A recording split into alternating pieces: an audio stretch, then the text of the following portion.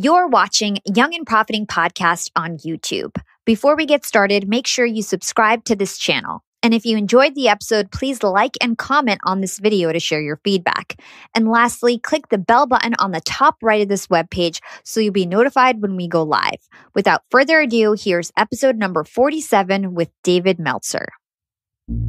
You're listening to YAP, Young and Profiting Podcast, a place where you can listen, learn, and profit. I'm your host, Hala Taha, and today we have David Meltzer returning on the show. David is the co founder and CEO of Sports One, a sport marketing firm which he co founded with Hall of Fame quarterback Warren Moon. David is also the former CEO of the world's most notable sports agency, Leigh Steinberg Sports and Entertainment. He's an award winning humanitarian, an international keynote speaker, and a best selling author. Since we last talked, David has come out with a new book called Game Time Decision Making that provides everything you need to know to up your decision making game and build a championship level business. In this episode, we'll uncover how to recruit a winning team, how to create the right mindset to make good decisions, and why milestones are better than concrete goals. Hey, David, welcome back to Young and Profiting Podcast. It's so great to have you back on the show. Oh, I'm so excited to be here and really appreciate the opportunity. Cool. So, to recap for my listeners, the last time I interviewed you was for episode number 31 titled Goya, which stands for Get Off Your Ass. And we took a deep dive into your career and the lessons you learned from the mistakes you made early on in your career. And we also talked about the importance of minimizing ego and your secrets for attracting unlimited success and abundance. It was a super inspirational episode that so many listeners loved. So, if you haven't heard it yet, go back and check it out. That's episode number 31. So, David, we last talked about four months ago, and since then you've come out with a new book. It's called Game Time Decision Making.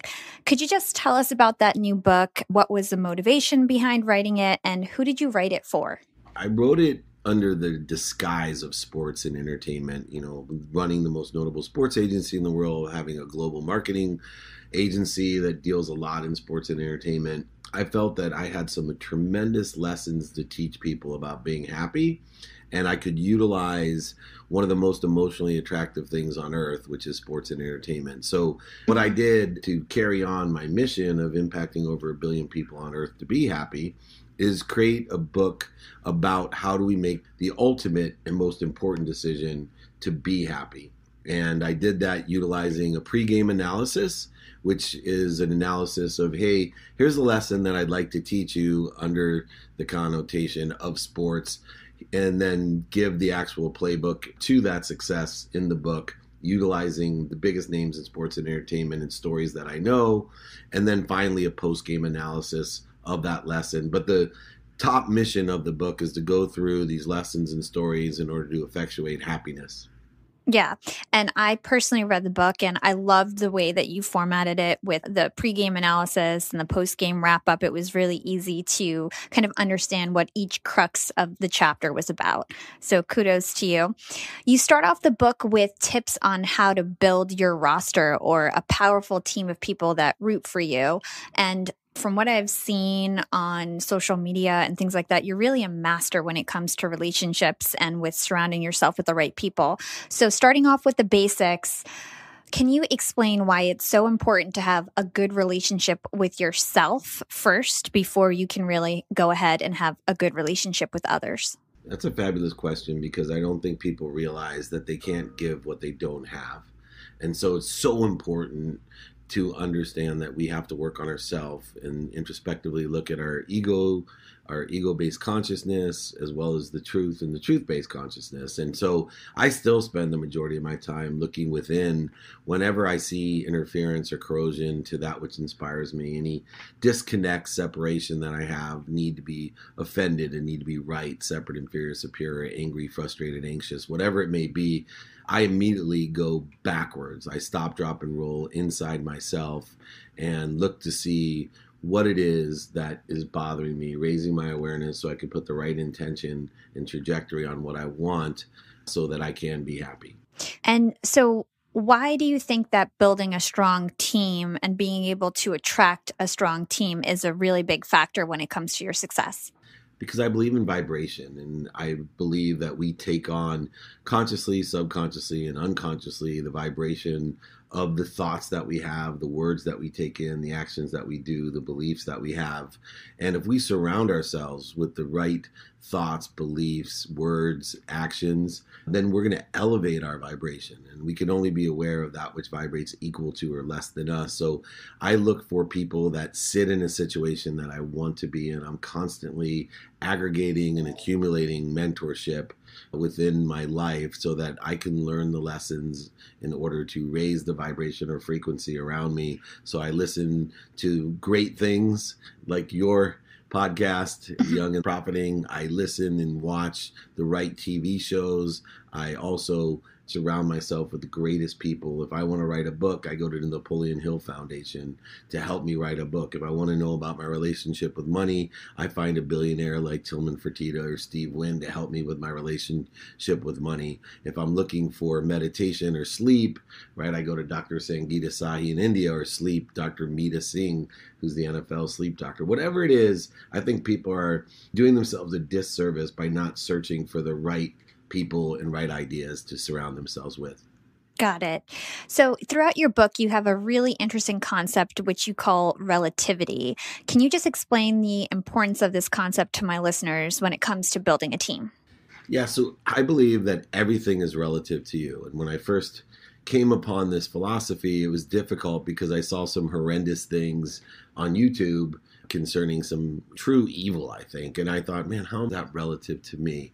I'm not connected to that. But it was relative to me because it was teaching me what not to do, what I don't want to attract, what I don't want to vote for in my life. So what I do is predetermine the relativity of who and what I want in my life. And so for me, my wife is most relative, then my children, then my mom, then my other siblings and relatives, then my local community, then my state, then my country, and then the world. And I actually put percentages in the distribution of what I have in order to allow everything to go through me to those that are most relative to me down to those least relative to me. But I'm always looking at the relativity and the impact that people have because I can have a greater influence on impacting others to impact others to impact others. And if I'm going to impact over a billion people in my life, I need to have ambassadors, people that will, at least a thousand of them, that will impact a thousand to impact a thousand, a thousand times a thousand's a million and a million times a thousand's a billion. So I need to find those thousand and the lowest hanging fruit exists by those who are most relative to me. So, I guess just to make it easier to understand for my listeners, like how does this relativity concept align with decision making? Like, how do you use it to make better decisions? Well, you know, most people that make good decisions, they're value based decisions. And so our values are our personal values, which are obviously related to those most relative to us. Their experiential values, which are once again related to those in the relativity chain.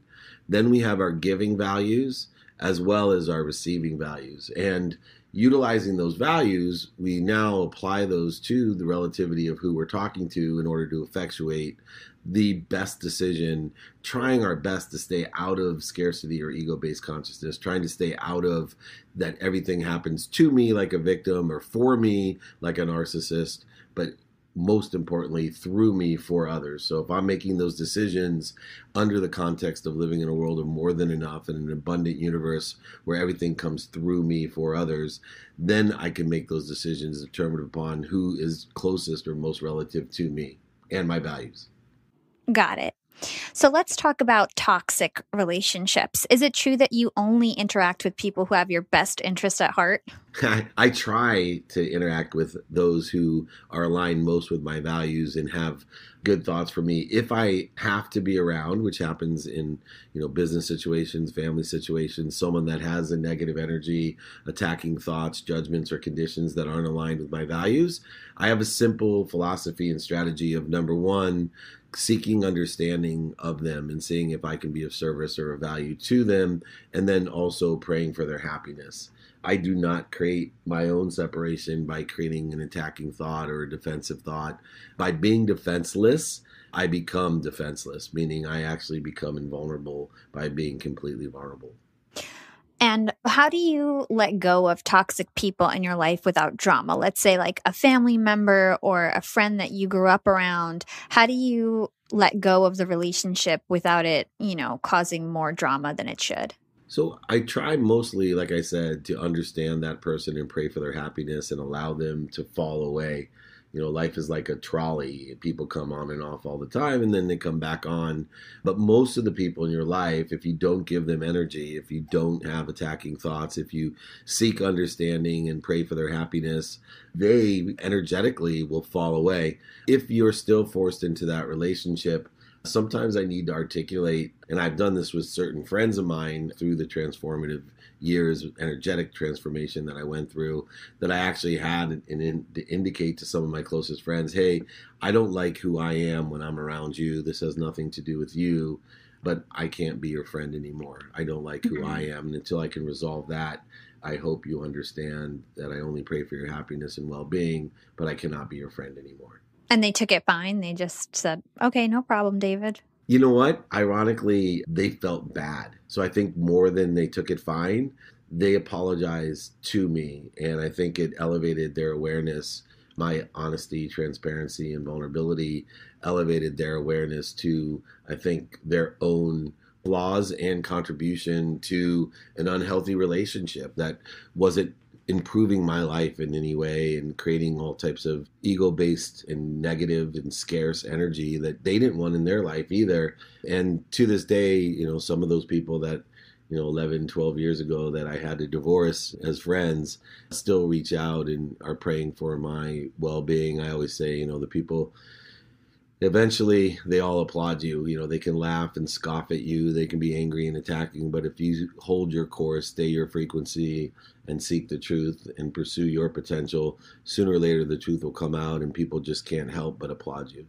Yeah, I've noticed that too. It always starts out that way. People are wondering why you're doing something or doubting you. And then, you know, if you hold on and just work hard, it always ends up working out in your favor. There's one quote in your book that really resonated with me. It was, if it bleeds, kill it. If it grows, feed it. And I think this plays really well with everything that you're talking about and is a saying that we should all strive to live by.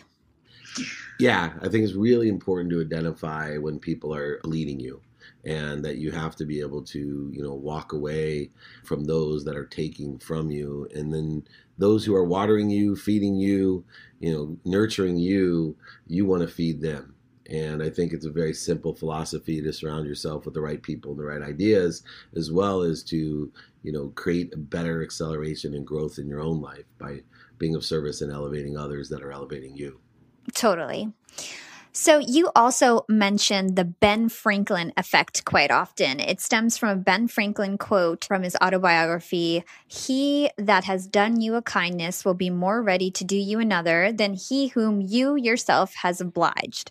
What does that mean in your own words, and why is it key to understand for healthy relationships? You know, for me, it's the cornerstone of the two most important questions that you need to ask in your life. And you need to ask these questions in person, on the phone, via email, and all media radio, print, TV, and social media. You need to ask number one, how you can be of service. You want to create a void, a shortage uh, on the side of the universe. You want to see, I use open and close ended questions in order to effectuate seeing how I can provide value or be of service. But the critical question that most people don't ask and falls under, and that's the reverse Ben Franklin effect, is to offer your help.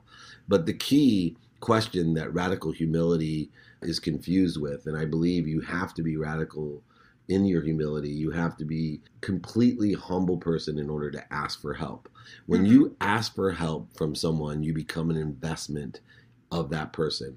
And those people are going to want to help you and continue to help you. I'll give you a good example. When I was in college, I used to move up my syllabus one week and I'd go into my professor and I'd let them know my intention that I wanted to get an A in the course and I wanted to get straight A's because I wanted to go to the law school of my choice. And so I told them, would it be okay that I turned in my papers a week early and then get feedback on what improvements I could make to those papers? Well, by doing so, all the professors said yes. And by doing so, the professors on those assignments, I became an investment of theirs. So when they read my assignment, it mm-hmm. wasn't reading mine, it was reading their investments. And of course, they are going to treat their investments in the right manner comparatively to those people that may be bleeding them. That's really smart. cool. So, after we create the right team, the next thing you say to do is to create the right mindset and defend any negativity that comes our way. You say there are three minds with which we make our decisions the conscious, subconscious, and unconscious. Could you break these down for us? Yeah, the conscious mind is the cellular structure that's the dumbest. It's the shortest term memory that we have. The conscious mind exists from the time we open our eyes till the time we close them. The conscious mind is subject to about 10,000 new data inputs, 10,000 things that we think, say, and do every day that are input into that cellular memory. That cellular memory gets those inputs from our five senses or even our six senses, if you believe that. But most importantly, it's understand that the key to the conscious mind is consistency. Determinative upon your subconscious and your unconscious mind, it takes at least 21 days of consistent behavior in, order for the stupid memory of the cellular structure to effectuate any type of growth or acceleration into the subconscious. Now, the subconscious mind is what we believe. Subconscious mind holds 40,000 of the same thoughts every day. The subconscious mind are from the inputs of doing things consistently every day, creating neural pathways that create efficiencies, effectiveness, and statistical success in the mind that allow you to control the 40,000 of the same thoughts that you have every day, those beliefs. And that's why, to me, sleep is the number one habit that people should work on, is because the conscious is not involved as much in sleep as the subconscious and unconscious. So if you want to develop yourself and accelerate and grow, you need to learn how to utilize those eight hours of the most consistent habit that human beings have on earth, which is sleep, which most people ignore their entire life. That's why I mm-hmm. have a sleep coach, a sleep mentor. I practice sleep, I study sleep. I spend a majority of my time every day making sure my subconscious mind, my beliefs are aligned with my values, my objectives, my attention, and my intention so that the coincidences in my life occur as I want them to. Coincidences are a mathematical term for two things happening at the right way at the perfect time. It's not an accident. Then finally, the unconscious mind is subject to the quantum memory. The quantum memory holds in our DNA. Doctors today will tell you four generations at minimum great grandparents, grandparents, your parents, and you that quantum memory is a frequency that attracts. And that frequency has a strong signal, a spectrum of a signal, and the clarity of your message. No matter what you think, say, and do and believe in the conscious and subconscious mind, the overriding power and most confusing power in our life is that quantum memory of our DNA. And we actually can shift that energy. We can bring healing to the epigenetic layer of that energy. We can activate and deactivate different memories within the quantum memory, within DNA. And all of this are being found out in scientific research today, but I know that the conscious, subconscious, and unconscious mind have a continuum from what we think, say, do, and believe into those unconscious competencies that expose themselves as our personality traits, our characteristics, our obsessions and addictions, what create a frequency to attract what we want. Meaning, no matter what we think, say, do, and believe, why some people get stuck, why some people end up in the same problems, the same relationships, the same shortages, voids, and obstacles that they always get, no matter what they do. I can't tell you how many people that I executive coach in my life that tell me, Dave, I think, say, and do all the right things. I don't know why this continually happens to me in business or in my personal life. And I said, because you haven't shifted your quantum memory, you haven't shifted your energy, you're sending the same frequency frequency out and you're mm-hmm. expecting the same result, a different result. Einstein nailed it when he said you could not solve a problem in the same consciousness in which you created it. What he was saying is you need to shift your energy, you need to shift what you think, say, do, believe, and your quantum memory, which includes that unconscious competency. Yeah. So there's a few things I want to kind of unpack. You just said a lot. So first, let's talk about sleep. What is your sleep routine like? What do you do to ensure that you use sleep to your best ability to ensure that you do have a positive unconscious competency? Sure. So, you know, number one, I use my sleep coach, my sleep mentor, Dr. Meeta Singh, who's was also the coach for the Washington Nationals, who won four road games for the first time ever in the World Series. No accident. But Dr. Meeta also is an NFL sleep coach that you know coaches me and adapts what i'm doing to maximize when i'm in an adaptable routine of travel. So going to bed at the same time and waking up at the same time being able to pass out 64 is the best temperature for me. Having it completely dark making sure that i'm not doing any distracted behaviors in my bed studying researching arguing any negative energy that my bed is known and energetically holds a place to connect to and clear the connection to that which is most inspiring to have a direct subconscious and unconscious connection to the most powerful source of information energy and light. And so utilizing a variety of mechanisms you know i just flew back from london on sunday landed went right to a speaking engagement with ed mylett in Los Angeles, came home, spent time with my family, and once again passed out. I usually pass out somewhere between 9 p.m. and 11 p.m. Pacific time, and I wake up every morning at 4 a.m. Pacific time and keep that routine. I eat at the exact same time every day, no matter if I'm in California, New York, London, Portugal, Asia. My eating schedule, my body is a routine, and I mm-hmm. contribute to a consistent, persistent pursuit of my potential, which allows me to enjoy that consistent, persistent pursuit much better because I live a healthy existence, a rested existence, and an inspired existence. And that means that we have cleared and uncorroded the connection to the biggest connection of inspiration that we have. And when we live in pursuit and we live in inspiration, so many things happen in our lives that just continually make us happier and happier. Yeah. And then, so speaking of routine and habits, how can positive mantras help with shaping our unconscious? I think in your book, you call this leader's litany, which basically you say mantras and affirmations over and over again to start to shift your unconscious. Yeah. So I, you know, do many mantras, you know, that I always forgive myself is a big one, you know, that I love myself. I also use Cancel Clear Connect whenever any negative thoughts come to my mind. But the consistency of mantras every day, my gratitude mantra of saying thank you before I go to bed and when I wake up is just programming the conscious cellular structure in order to effectuate the unconscious, subconscious access that is given through the neural pathways of my mind in order to send a frequency and an alteration or a shift into my DNA or my quantum memory. And so I hmm. utilize that in order to effectuate what I think, say, do, believe, and the unconscious competencies, changing my personality traits, characteristics, obsessions, and addictions. And now a short break from our sponsor, Skillshare. A lot of you young and profiters out there are entrepreneurs, side hustlers, or working professionals who want to learn new things, evolve, and grow your creative skills. Gaining a new skill or staying on the cutting edge of your field is easier said than done, especially for people like us who have super busy schedules and a lot going on. Well, I have some great news. Now you can build, fuel, and expand your creative fire with Skillshare an online learning community for the creator in all of us. They have thousands of classes that cover topics like graphic design, marketing, productivity, entrepreneurship, creative writing, and more. You name it, they've got it. And all their classes are on demand. So whether you want to take classes after work or on the weekend, you can totally learn at your own pace. And guess what? Our YAP listeners get two whole months of unlimited classes for free. Just head over to Skillshare.com slash YAP to redeem the offer. There's so many classes I'm looking forward to take now that I have two months of free access. I'm starting to get more into videos now that I've locked podcasting down, so I just signed up for do-it-yourself cinematography taught by film director Ryan Booth. And while I consider myself to be a seasoned marketer, I could always brush up on my skills. So I also registered for a class called Storytelling for Leaders.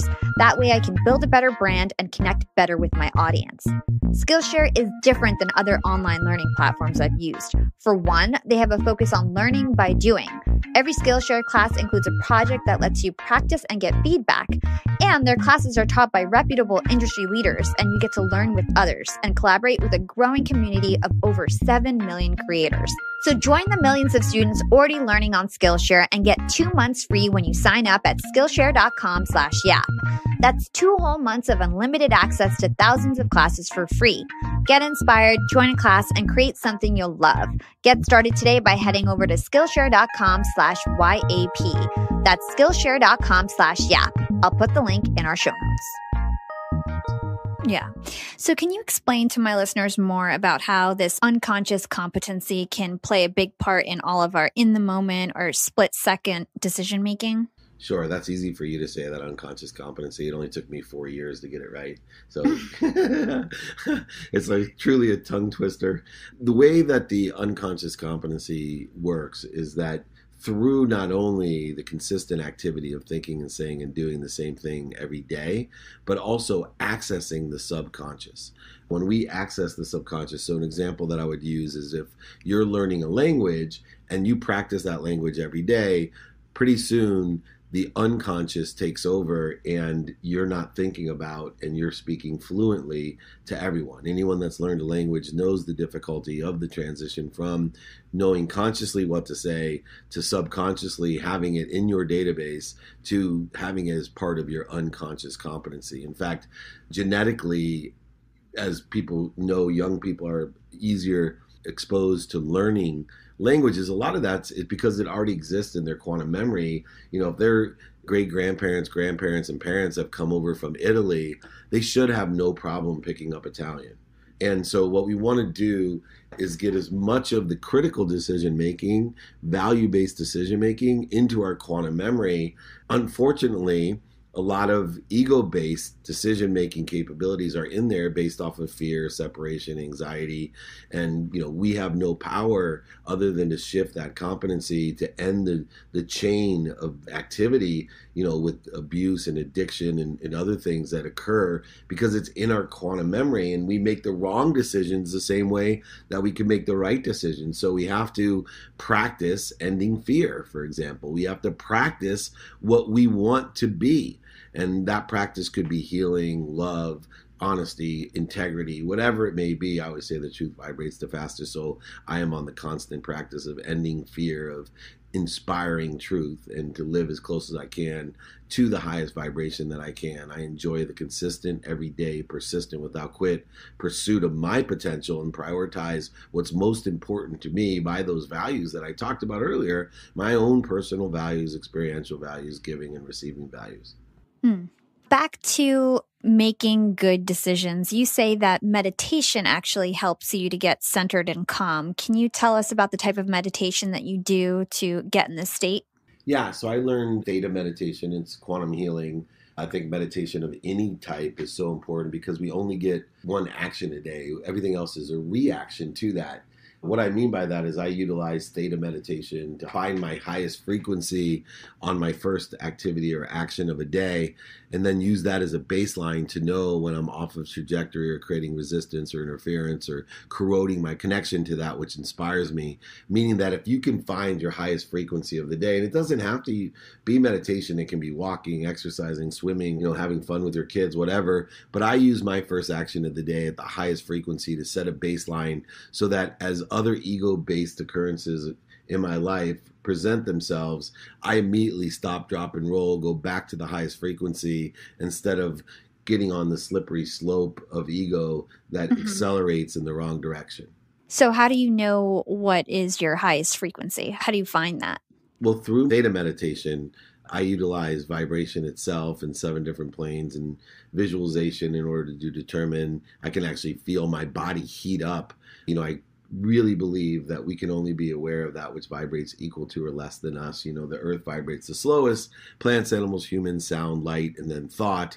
The thing that vibrates the fastest is the truth. I want to be in the consistent, persistent pursuit of that truth, of my potential. And so I utilize theta meditation in order to effectuate the highest frequency, which is a mm-hmm. practice which I was trained in India from Dr. Sangeeta Sahi in order to utilize. But I will tell you that the layman's terms or the easiest way to know your eye's frequency is what makes you feel the best. So you want to feel the best at the beginning of the day and you want to try to excel or achieve more than that pursue your potential higher during the day. If you start off and you know you stub your toe in the morning and then you decide to get revenge on that by stubbing your other toe you'll just continually go down the slippery slope of negativity. I work on the highest frequency and to improve and accelerate and grow as much as i can by learning lessons and trying my best to teach other people and inspire other people those lessons Yeah. Theta meditation sounds a little intimidating and advanced. And in your book, you shared something that seemed pretty easy, a quick tip, if you will, called the six breaths of Buddha. Could you share that? Yeah, that's a, a great tool to stop, drop, and roll. So, whenever I am aware that I'm an ego based consciousness, you know, the need to be right, offended, separate, resentful, angry, frustrated, anxious, etc., I always take the six breaths of Buddha. And what that means is I sit up straight with a very straight spine and I breathe deep through my nose and out through my mouth six times, trying to clear my mind to connect or clear the connection to that which inspires me, to raise my frequency to the highest vibration so that I can then move forward in the trajectory that I want to go, the one that accelerates, allows me to have exponential growth and really create productivity and efficiency as well as accessibility in my life.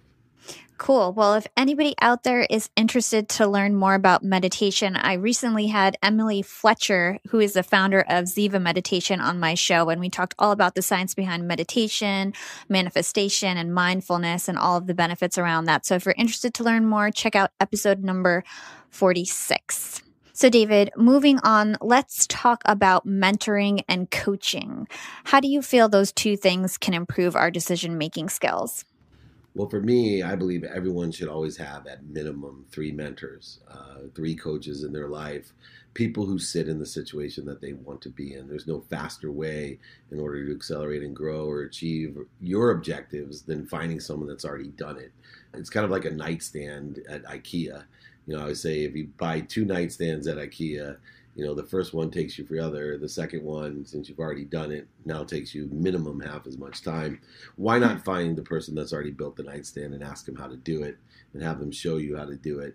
So I literally prioritize the most important things in my life and then seek mentorship and coaching from those. I also believe in being a coach. I learn more from being one of the top executive coaches in the world.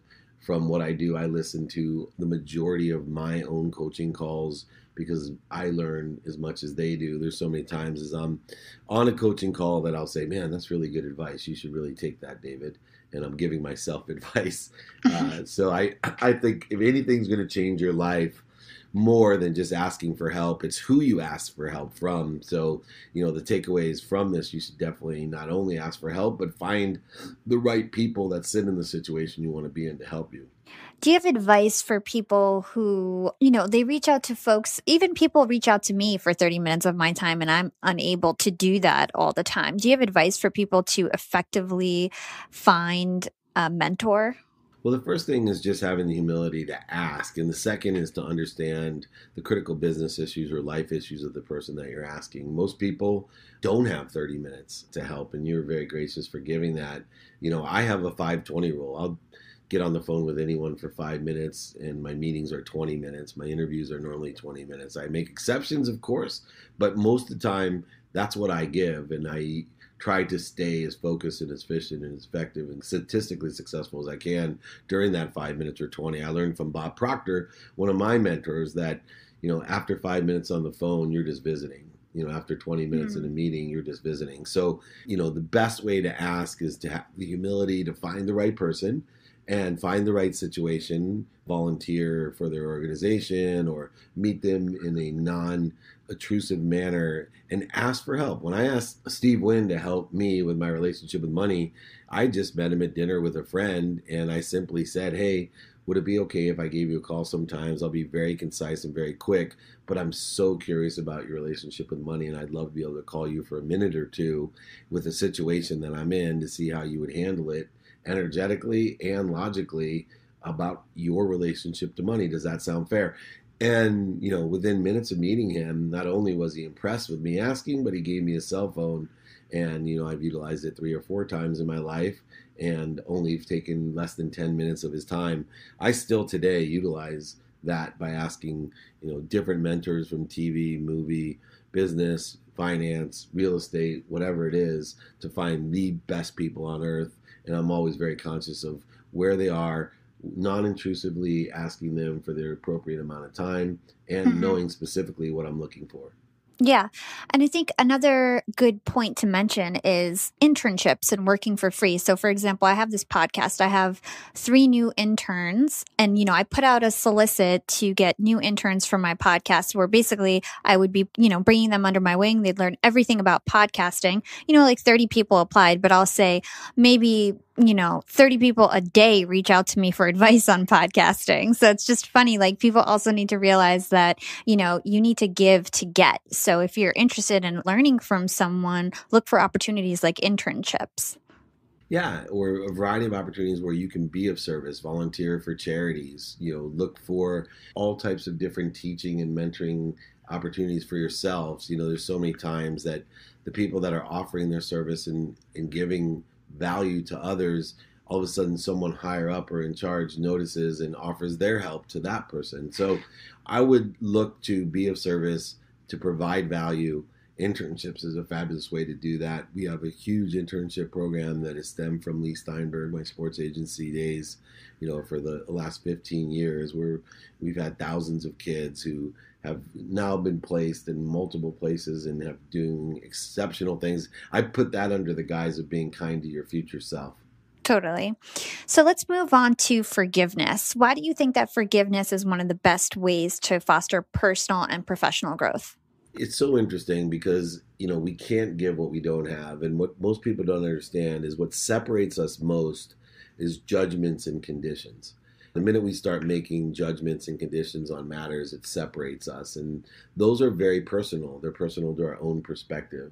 And so, forgiveness, the more we carry forgiveness, the more peace that we'll have, the less resistance we'll have, the less interference and corrosion to the inspiration that we'll have. And forgiveness to me is a a weapon. You know, it really is a weapon against interference and corrosion to inspiration. It's a weapon against judgments and conditions. Forgiveness is radical humility. And so I seek to be wise enough and elevated enough to forgive all situations, to carry no judgments or conditions, but simply to consistently, persistently pursue my potential and enjoy that at highest frequency. And it's not easy. I'm the things that I teach and the things that I do, it's just what amount of time am I doing this? And I still find myself every day forgetting lessons that I've learned, forgetting lessons that I teach. But I know I have the power and I empower others to access those lessons and relearn them and execute on them as much as I forget them as well. I mean, from gratitude to forgiveness to accountability to inspiration, every single day I teach, preach, and help people with those four things. But every single day I also forget them. There's multiple times during the day that I lose my forgiveness, that I lose my gratitude and accountability. And I just try to decrease the amount of time that it takes to get back to center and find that gratitude, forgiveness, accountability, and inspiration. Yeah. So something that relates to this is this phrase that you use pretty often throughout the book. It's called majesty of calmness. Mm-hmm. and to me, the gist of it is that you should not try to have emotions that change from way up to way down. And when things happen to you, good or bad, you shouldn't get on the extremes, either too happy or too sad. You should just try to strive for consistency, and calmness. And you also mentioned several times throughout this interview to be in the consistent, persistent enjoyment of the pursuit of your potential. So tell us about why you believe this to be, you know, so powerful. Why do you believe that you have to just kind of be calm and enjoy the pursuit rather than the outcome? Yeah, you know, just the word pursuit is inspiring. You know, to be in the pursuit of something and to enjoy the pursuit is you know really the key to life. And to most enjoy or maximize our potential we need to be at center.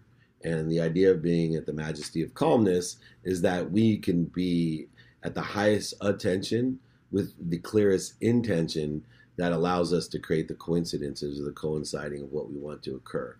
And that's what creates true abundance. That's what creates true happiness as well and so I really try to inspire others and teach other people of where their highest frequency is, where their center is, how to find that center, how to think or make decisions within the majesty of calmness, within the truth consciousness, not the ego based consciousness, not the one that has interference or corrosion to inspiration, but that which is most inspired. It takes one little particle of light to overcome millions of particles of darkness. And we waste so much time, energy, and emotion, both on the positive and on the negative side. I teach my own children to remove themselves from the good opinions of others as much mm. as the bad opinion. Right? I don't want them to have the judgments and conditions and interference. I want them to live in the majesty of calmness and just enjoy the pursuit of their potential, of what they want at their highest frequency and potential. Yeah. So I think the key to this is to not attach your happiness to outcomes, right? Yeah. How do you suggest that we, you know, plan when it comes to our goals? Yeah, so that's the most conflictual thing and a very common question is okay, so if you think you have to detach your emotions or happiness from an outcome, how do you have goals or objectives? Well, because I have key goals and objectives every single day, and I determine those by the importance of my values of that day. But I pursue them and enjoy the pursuit of that goal. So I don't put limitations on myself. A goal may be, you know, I want to make over a billion dollars as fast as I can, not I want to make a million dollars by the end of this week. One creates limitations, resistance, the other is completely abundance. Now, once I set an objective of making over a billion dollars as fast as I can, my next pursuit is to enjoy the consistent, everyday, persistent, without quit pursuit of my potential of doing that to achieve making over a billion dollars as fast as I can. Completely different than someone that says, I will be so happy when I make a billion dollars. And 99% of the people on earth, they're the lottery ticket the resistant creating, the obstacles, void, shortages, and scarcity creating. I want to make a million dollars by the end of this week, or I need to make a hundred thousand by March, or I got to make a billion dollars by the end of this year.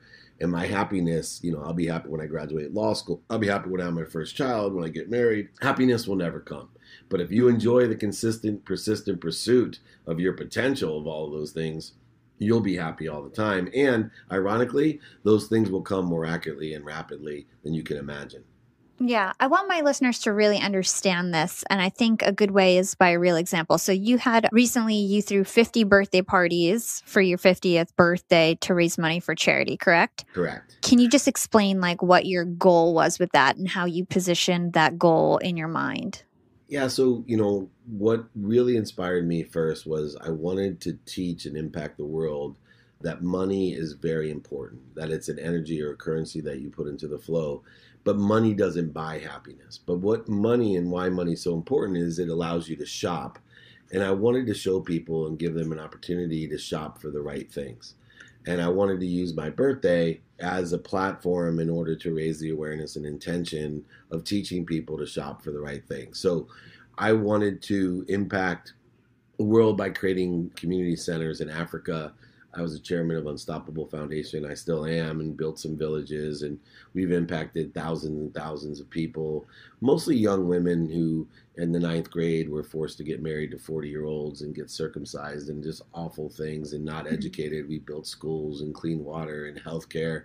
But now that we've done, you know, 17 communities, I felt that we needed to connect the generational, situational knowledge of the parents and the grandparents to this newly educated college and high school graduates and these educated women and young men in a new generation. We needed to fold in the experiential knowledge and situational knowledge of those elders. And so I wanted to build these community centers and I used my birthday and every week had a different birthday party around the world where instead of receiving gifts, I'd given people the opportunity to give I gave them the gift of giving, the opportunity to empower others, to empower others, to learn about how to shop for the right things. And I will tell you, we built two community centers through my birthdays, and I have never shopped for or been more happy with what I was shopping for. And I hadn't enjoyed, you know, my pursuit of that potential more my 50th birthday parties. And what was your goal? Like, how much money were you planning on raising for that? Over a million dollars. And why were you so keen on saying over a million dollars and not a million dollars? Yeah, so a million dollars would have bought one community center. And I just know that I wanted at, you know, minimum one community center, but I know the universe is abundant that has more of everything for everyone. So we raised much, much more and we're able to do much, much more. And I think that we would have been limited if we put a million dollars and most likely probably wouldn't have even hit it. But when we talk about more than a million dollars and we focus in on the purpose and the potential of the community centers of impacting thousands and thousands of people generationally, impacting and consistently creating an annuity of love and education and health and all these other things that we're able to do, people were inspired and that inspiration allowed us to create abundance and create less shortages, voids, and obstacles, and you know achieve twice as much as what my objective was. Awesome. Thanks for sharing that. So, you also suggest that in order to remain consistent, we should often lower the bar. And, you know, it's very counterintuitive to what most people tell us our whole lives to raise the bar. Why do you take that approach? And can you explain that?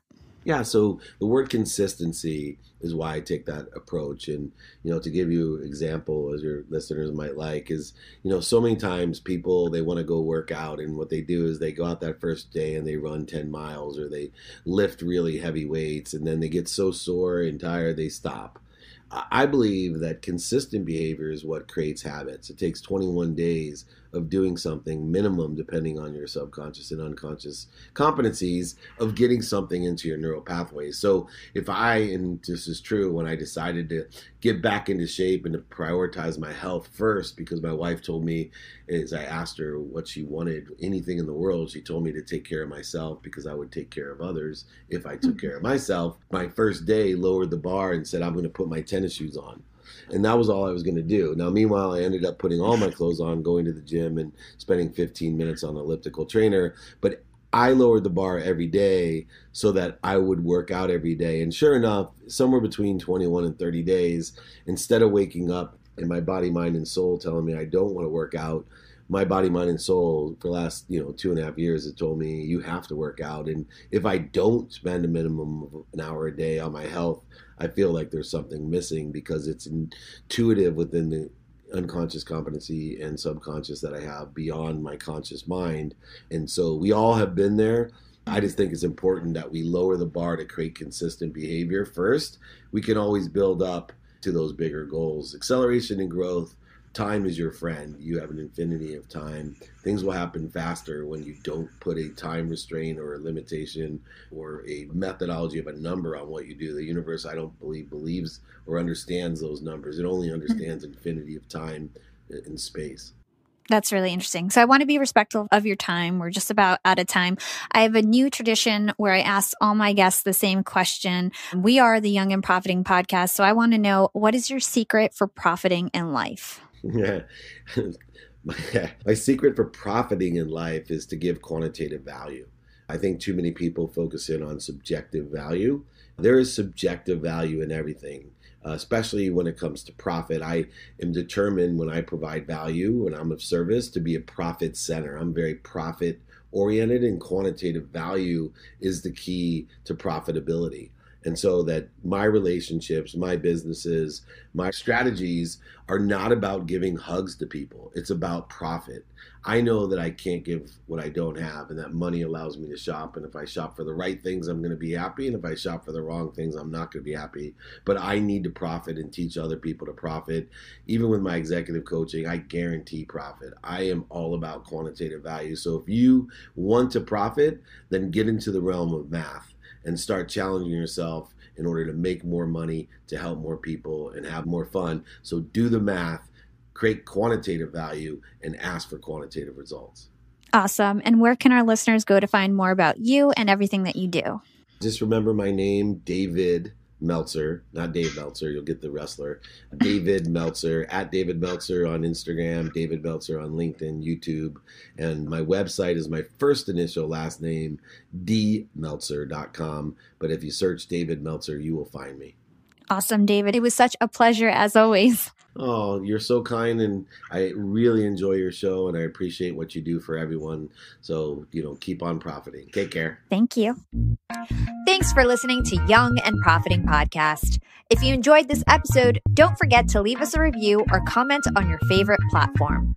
Follow Yap on Instagram at Young and Profiting and check us out at youngandprofiting.com. And now you can chat live with us every single day on Yap Society on Slack.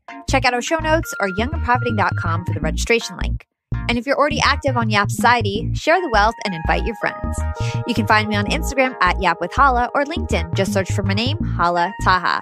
Big thanks to the Yap team as always. Stay blessed, and I'll catch you next time. This is Hala signing off.